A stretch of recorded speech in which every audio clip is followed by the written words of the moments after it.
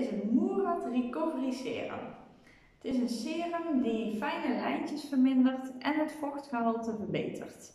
Door de hyaluronzuur die erin zit. En verder werkt het heel mooi op een gestreste huid en tegen wallen en kringen. Om, uh, door de cafeïne die er ook in zit. Nou, het is een heel speciaal serum. Er zitten allemaal kleine bolletjes in.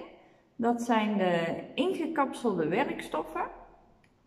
Zodra je hem oppompt, dan uh, komen die werkstoffen vrij.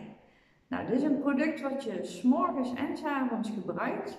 Op het gezicht, rond de ogen, op de hals en het decolleté. Nou, en het is een soort parlemoer um, als je hem op je huid aanbrengt. En hij ruikt ook heerlijk.